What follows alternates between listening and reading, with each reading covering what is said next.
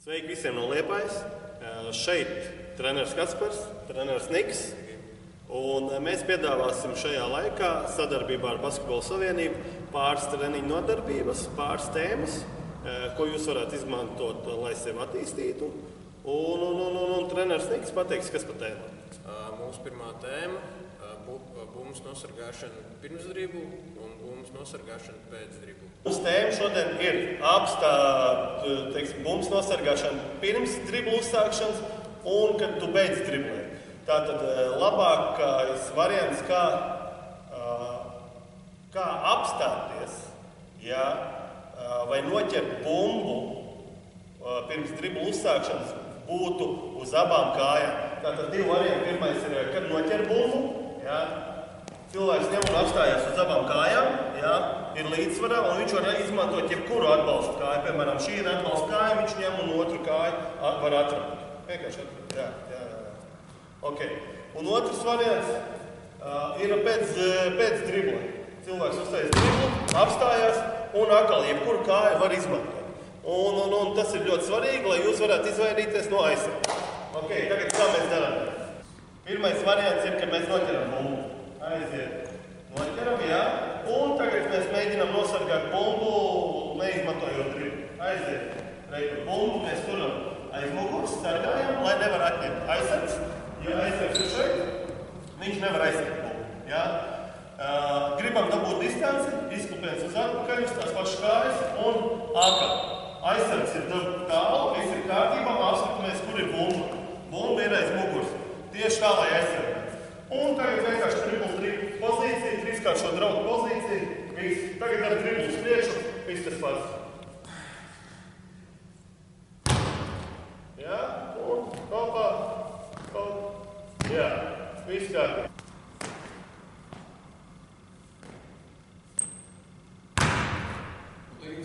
Jā.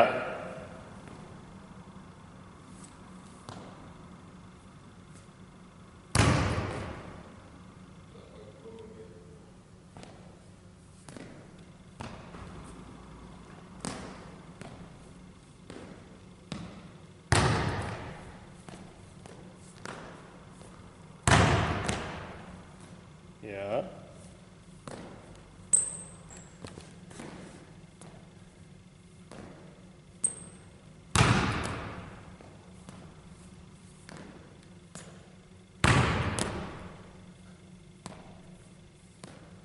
Viss. Un tagad mums būs uh, otrais uzdevums. Viss tas pats, ko mēs darījām uz priekšu, bet pirmā darbība, pirmais solis būs uz atpakaļ. Kad, uh, uz, kad aizsargs ir pārāk tuvu, cieši klāt no paša sākuma, lai mēs dabūtu distanci, mēs varam arī dabūt uh, iet uz atpakaļ. Kāds izskatīsies? Spēlētājs toķēs bumbu, aizsargs lien klāt, re, kur mēģina atņemt, un uzreiz ir šis te. Jā.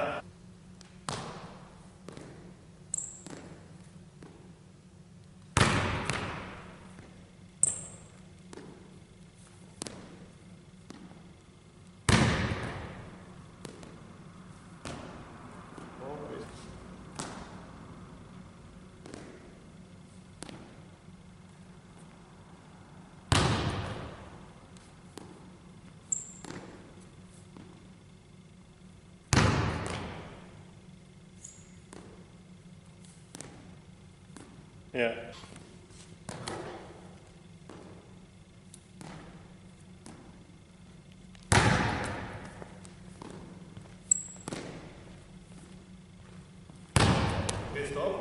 Stāvam.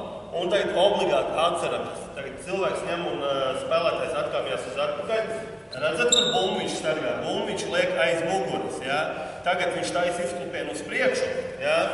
Joprojām, lai, lai nebūtu, ka viņam atņem kāds bumbu, viņš bumbu sargā pie aizmugurējā gurna, nevis noliek priekšā bumbu. Un triple three position. Jā, viss. Ok, super. Tātad nākamais uzdevums arī ir uh, uzbrucēja uzdevums ir dabūt distanci, izmānīt un aiziet garām. Kāds izskatīsies? Šādi. Pabūl, jā. Tagad plāna metienu, es eju virsū un man aiziet garām. Jā. Tagad panāc.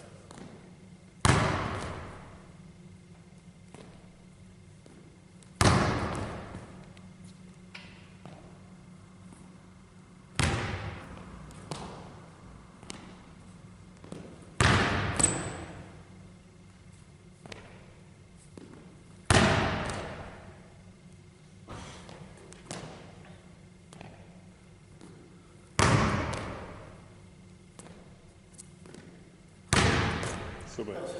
Nākamais uzdevums uh, ņemam aizsargs pirmo izvairīšanos teiksim, soli taisa uz atpakaļ, parāda metienu un gājiens garām. Ko var šajā momentā darīt? Nevajag vienmēr rādīt metienu. Jo atkāpjoties uz atpakaļ, bieži vien var nākt uzbrucējs aizsargs klāt, un jūs varat vienkārši pa apakšu uzreiz iet garām. Tā kā treneris Niks gan ar metienu parādīs, gan arī bez metienu parādīs.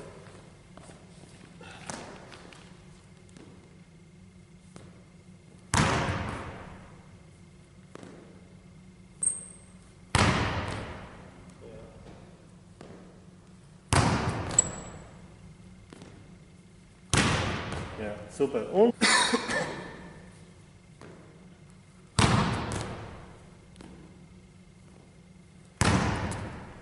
Jā. Nākamais - bumbuļs nosargāšana. Bumbuļs nosargāšana ļoti svarīga arī līdzsvars. Ir. Ja jūs redzat, ka uzbrucējs ir nepareizi nostājies un tad pat laikā ļoti agresīvi jums iet klāt, jums jāmāk nosargāt bumbu, parādīt tiesnešiem, ka aizsargs tur mēģina ar rokām ķeksēt, not, noturēt bumbu un aiziet viņiem garām. Kāds izskatās? Aizsargs uzbrucējiem bumba ir šeit, aizsargs nē klāt un kaut ko ar roku te ķeksē. Jums ir jādara viss, lai aizsargs negribētu šādi ķeksēt. Un, kā mēs to darām, vienkārši vēziens. Aizsargs var atkāpties vai kaut kur vēl uz priekšu un gājiens garām un viss.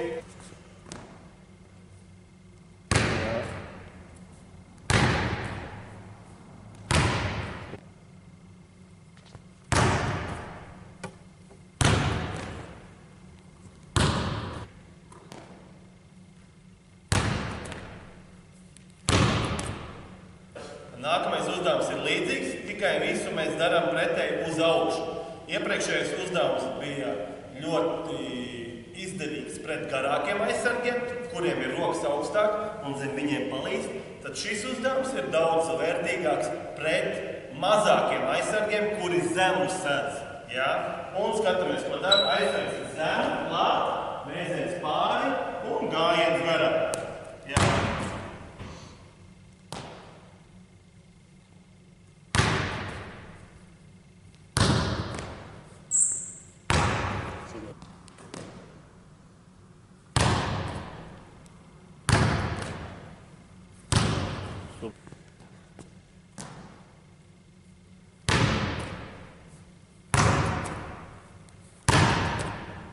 Un tagad mēs ņemam un apvienojam uh, izklupienus uz priekšu un uz atpakaļ, abus variantus, jo jābūt arī pacietīgiem citreiz, jo, ja aizsargs ir labs, viņš var nostrādāt vienu, divas reizes, bet uh, vienmēr kādā momentā aizsargs vēlēsies atņemt to bumbu, un ja jūs būsiet pacietīgi un uh, domāsiet sekosiet līdzi ar acīm visu laiku uz priekšu, ar skatienu uz priekšu, kur ir aizsargs, jums sanāks. Apskatieties, ko treneris Niks tagad darīs.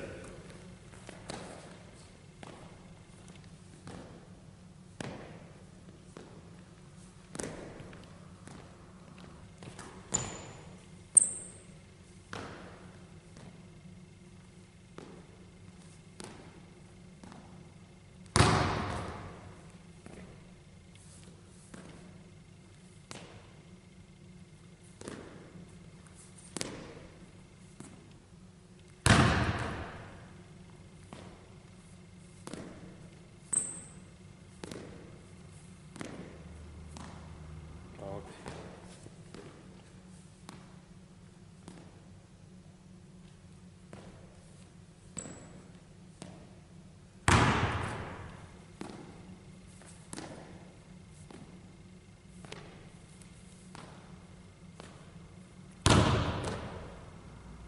Atpakaļ. Uz atpakaļ.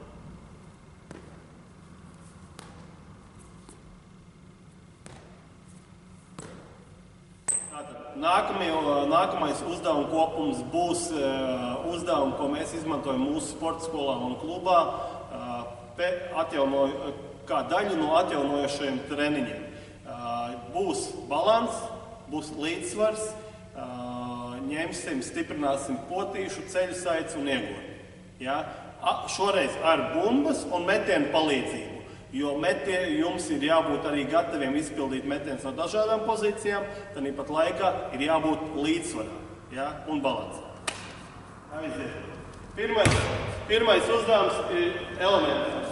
Spēlētājs nostājās. Nav, uh, nav svarīgi mest no tālas distances. Sākam no diezgan tuvas distances un nedomājam tagad par metienu, vai viņš iekrīt vai neiekrīt, bet par tehniku, kā mēs to izpildām. Pirmais ir, mēs izstiepjam uz vienas kājas, cels bišķi ieliekts, ja, jo augstāk kāju varat pacelt, jo labāk, un pēc tam uh, ņemam uh, kāju, bīdam atpakaļ uz priekšu, celīts ir 90 grādu leņķī un metiens. Un jānotur. Jā. Pēc metiena, pēc metiena ļoti svarīgi, lai pēc izmetiena nebūtu kritiens uz sāniem, uz priekšu un tā tālāk.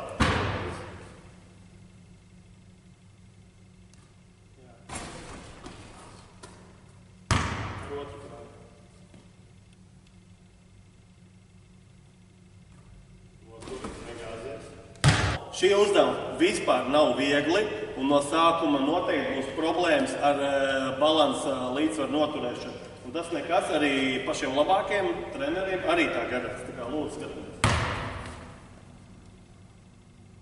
Galvenais noturam un tehnika. Ļoti labi. Cel, celīts bija augstu 90 grādu leņķī. Nemetam no šāda, bet celīts ir augšā 90 grādu leņķī. Nākamais uzdevums. Nākamais uzdevums ir bumbu pieliekam pie pirsgala, paceļam augšā, noturam sekundīti un metam.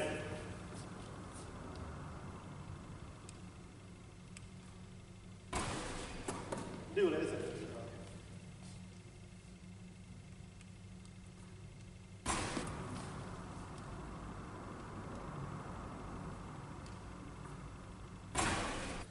Tā, nākamais jau ir, mēs ņemam ar lecienu darīsim, tūlīt treneris Niks jums to parādīs, ja? kas ir ļoti svarīgi, ja? lai pēc leciena jūs ņemtu, lai pēc šī leciena būtu pauzīte un atpakaļ būtu pauzīte. Paceļam kāju, metiens. Ja? Un jābūt balansam līdzsvaram. Ja?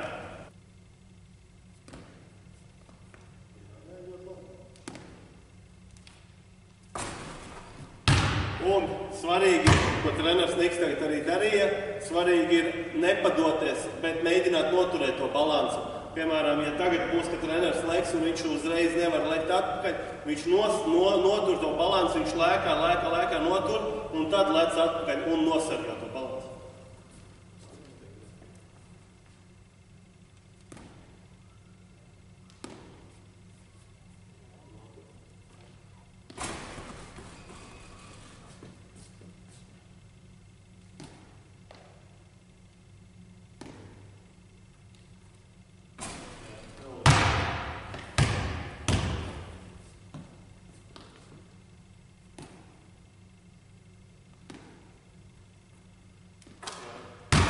Nākamais uzdevums ir, mēs darījām uz sāniem, mēs tagad darām uz priekšu. Jā.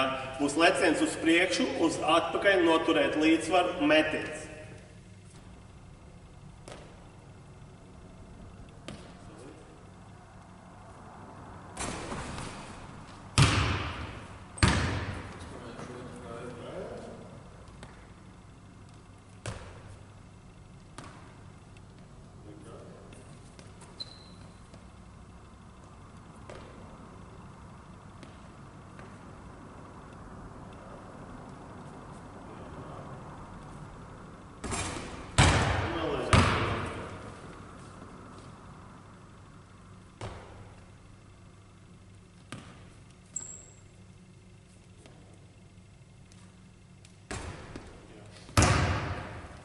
Okay.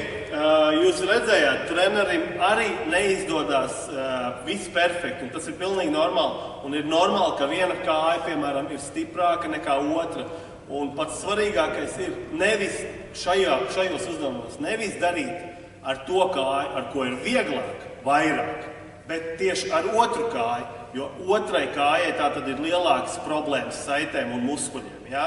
Tātad, ja jums ar vienu kāju varat divas, trīs reizes izdarīt bez problēmām, bet ar otru kāju jums jau pēc pirmās, pirmajā reizē ir problēmas, nu tad attīstam 4, 5, 6 reizes to otru kāju, kurai ir problēmas. Nākamais uzdevums ir viss tas pats - leciens uz atpakaļ. Bet lecot uz atpakaļ, mēs arī pagriezīsimies uz atpakaļ.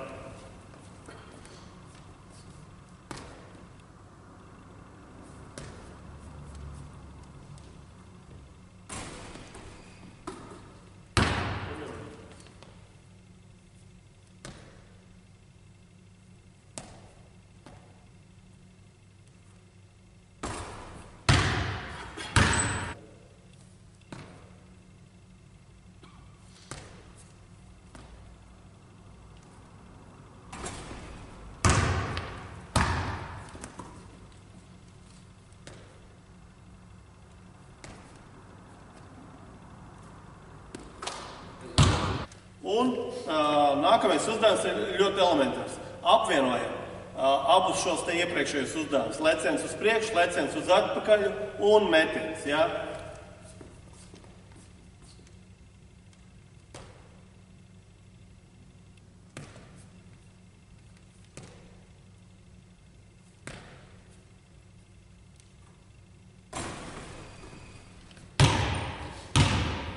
Ļoti svarīgi ir, ka, lai jūs ievērojat, ka visu laiku piezemēšanās uz vienas un tās pašas kājas vidū. Skatāmies, ja?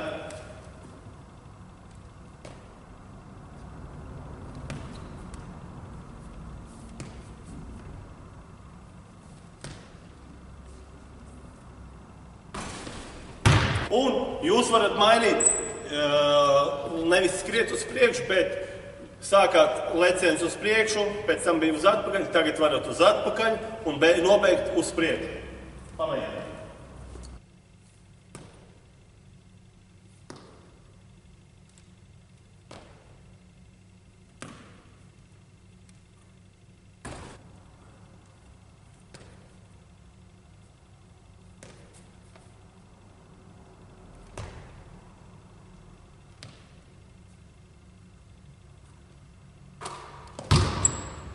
Šādi jūs varat eksperimentēt.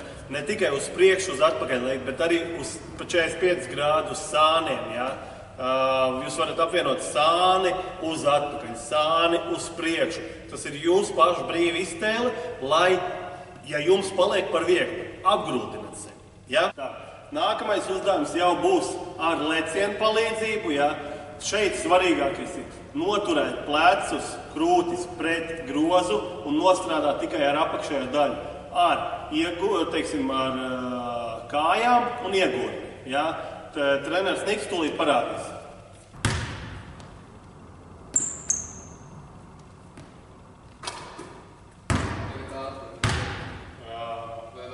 Vēl, vēl divreiz uztaisīšu.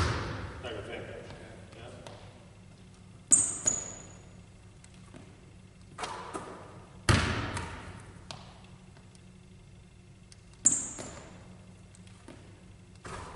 Un tagad tā.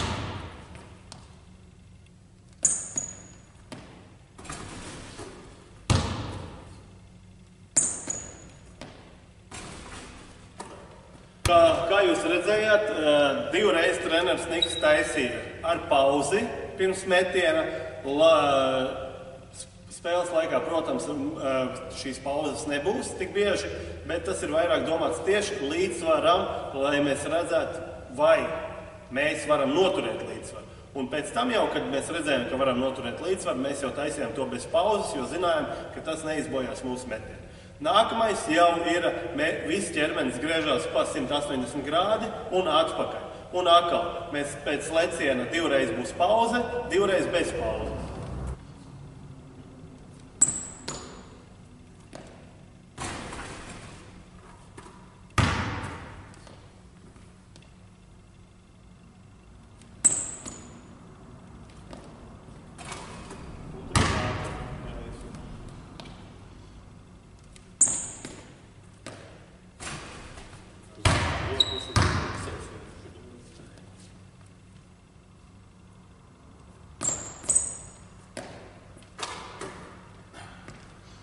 Tā, uh, kā jūs redzējāt, uh, mēs taisām vairāk uz šo pusi, lai jūs redzētu, kas notiekās.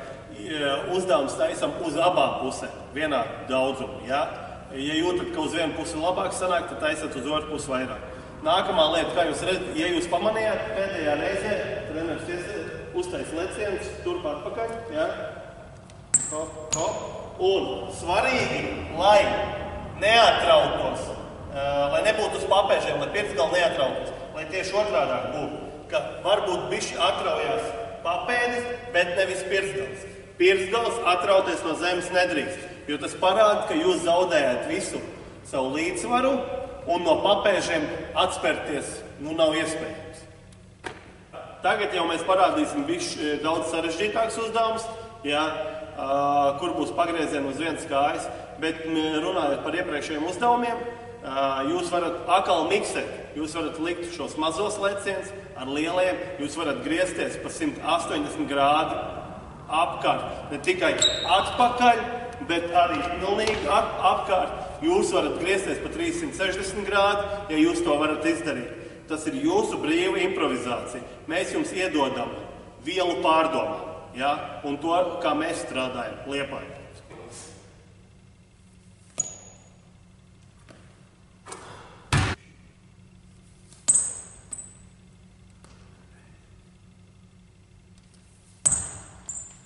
Stop.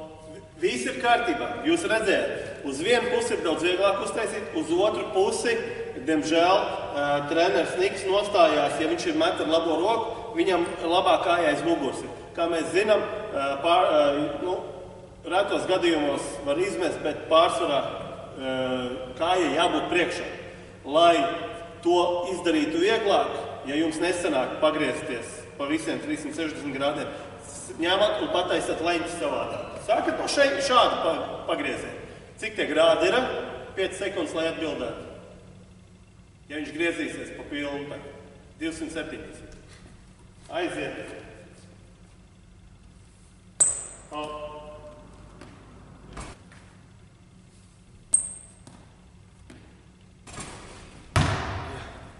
Kā tagad redzējāt, treneris Niks apgriezās pat vairāk kā vajadzēja, tāpēc jūs varat regulēt to leņķi, no kādas sākt. Bet šī ir tā lieta. Šis ir daudz vieglāk. Ir arī pagriezieni caur muguru, kas tagad būs, un tie ir diezgan sarežģīti. Un treneris Niks pats skatīsies, ja viņš varēs pagriezties pa 360, viņš pagriezīsies, ja nevarēs pagriezties, viņš ņems un samazinās to leņķi.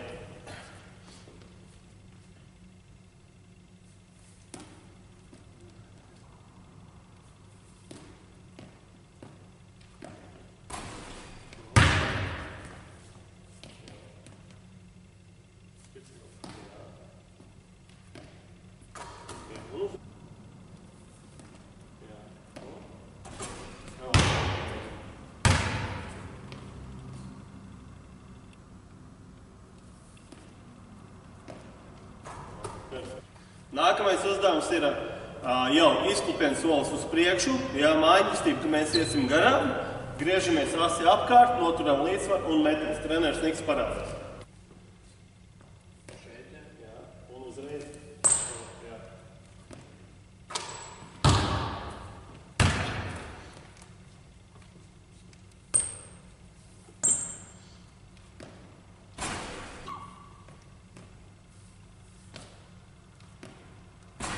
lieta mums ir uh, mājkustība uz stāniem, jeb uh, angliskais nosaukums jabsteps. Tātad mēs mānām, mānām, pieliekam un metiens. Ja? Un treneris Niks var rādīt.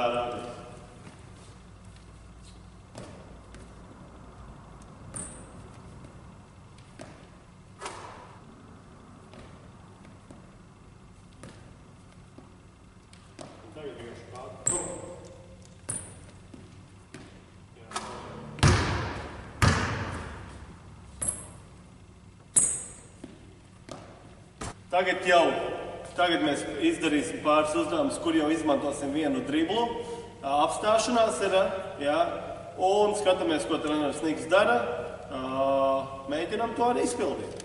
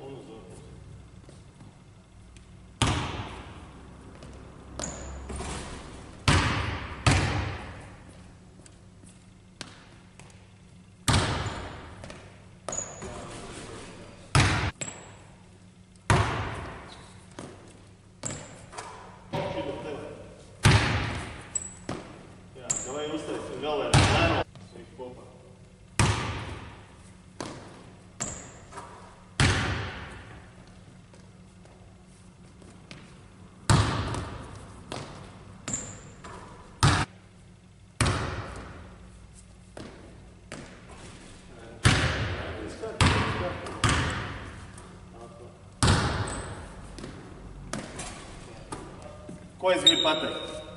Jums nav obligāti šie metieni spēlē jāizmanto. Šie ir vairāk balansam, līdzsvaram, koordinācijai uzdevumi, kur mēs pieliekam klāt metienu. Jā, jo daudz no šiem uzdevumiem var taisīt bez bumbas vai bez groza. Mēs, pē- mēs pēc brīža parādīsim jums bez groza šos te uzdevumus bišķi savādākā veidā. Paldies! Un, kā jau teicu, mēs teikt parādīsim arī pie sienas šos te pašu balansa līdzsvaru uzdevumus, saišu stiprināšanas uzdevumus, ko jūs varat darīt bez metieniem, ja nav pieejams grozs. Ja? Tāpat laikā gribu atgādināt par tiem uzdevumiem, kas bija ar metienu. Jūs nav svarīgākais tagad tieši iemest. iemest ja? Svarīgi ir izpildīt. Tā kā, ja jums nav pieejams grozs, jūs to pašu visu varat darīt bez grozs. Metienu imitācija. Ja? Un tagad apskatāmies pāris uzdevumus, ko var pildīt mājās. Ja? Pirmais ir celīts augšā, un mēs mēģinām eh, neatraujot kāju bišķi apakšējā saliekta, ja, bišķi, un eh, neatraujot kāju, mēs mēģinām pieskarties ar bumbu pie vienas puses, eh, pagriežot arī ķermeni, ja, ja. un šādi te ar muguru neskaramies sienai klāt. Jā, ok, paldies. Uh, skaitu es neteikšu. Jums ir pašiem jājūt, kad paliek grūti. Ja, ja jums, uh, teiksim, paliek grūti pie 3, 4 reizes, nu, 6, 7, 8 reizes uztaisam. Ja. Citiem varbūt jau 11, citiem 20 reizes ir jāuztaisa. Un, protams, var visāds apgrūtinājums likt iekšā. Okay. Nākamais uzdevums jau ir sarežģītāks. Arī celīts būs jātur augšā, bumbu pieliek, bumbu saliek tās rokās un iztaisnojot virs galvas roku, pieliekam pie sienas, iztaisnojam kāju. Jā. Un atpakaļ tādā pašā pozā. Uztaisam četras reizes. Jā. Jā. Mēģinām darīt, dar, daram, daram, mēģinām darīt tā, lai nebūtu jāatbalstās un jāatsperās no sienas, bet tikai pieskaramies. Ja? Liekat tādā attālumā, lai nebūtu tā, ka jūs krītat pret sienu. Un pamēģinām ar otru. Ja? Ja? Šis ir jau par tālu, iespējams, bišķiņ, bišķiņ tuvāk. Ja? Ja. Nu, mēģinām tieši tā. Opa. Jā, un vēl divas reizes. Jā. Jā. Un mēs arī visu to varam pretēji darīt. Nostājamies tālāk, jā, un stiepjamies ar kāju, skaramies klāt. Jā. Jo parasti arī metienu uzdevumos, ko mēs darījām, mēs bumbu liekam uz priekšu, kā mēs kaut kur zemē liekam. Tagad būs tieši pretēji. Kā jāliek uz atpakaļ, bumbu uz priekšu. Aiziet, mēģinām. Un mēģinām ar pirksgalu pieskarties. Mēģinām, mēģinām stiepties uz atpakaļ. Kā mēģinām pieskarties. No jā, tuvāk tā tad vajag pieiet. Jā, un stiep, stiep, stiep pirksgalu. Jā, kā redzat, nav viegli. Nav viegli. Šie uzdevumi nav viegli. Jā, labi. Jā, opa. Vēl divas reizītes. Jā, vēl viena. Jā. Un ar otru kāju. Jūs varat likt kāju kā pēc katras reizes pie zemes, varat arī nelikt pēc katras reizes pie zemes. Tagad ar otru kāju neliekam kāju pie zemes. Jā, un tagad atkal ņemam, paceļam augšā. Jā, jā, un atkal. Viss. Jā. Jā, jā, jā, nekas, nekas, nekas, nekas. Jā. Tieši tā. Tad, kā paši redzat, var darīt šādi, var darīt šādi. Uh, Tātad uh, nākamais variants ir, mēs skārāmies ar kāju klāt, tagad skatīsimies ar bumbu klāt. Uh, kas ir ļoti svarīgi, pagriežot viņu šādi te ar sāniem, ar sāniem, ar sāniem. Uh, kad jūs sēžaties uz tās vienas kājas iekšā, sēdies iekšā, ja? cēlis nedrīkst iet pāri pirksgalam. Ja? Cēlis nedrīkst iet pāri pirksgalam, jo tad viss slodzes būs uz cēli. Tas, tas šī momentā mums ļoti nav izteikti vajadzīgs. Ja? Te treneris parādīs vairākus variantus, ko jūs varat darīt starp posmā, pēc pieskāriena.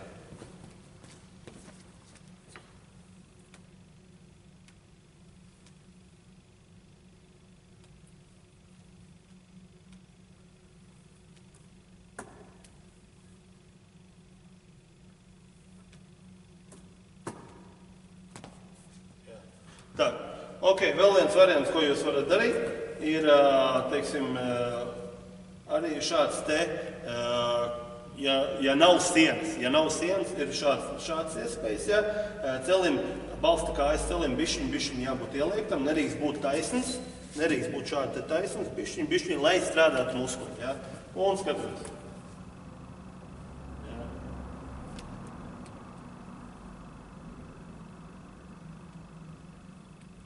Un ar otru. Jā. Jau ātrāk mēģināt. Jā. Okay. Uh, ceru, ka jums patikās. Jā. Šo te uzdevumu, balansu uzdevumu, jo īpaši, protams, ir jāiesildās. Jā.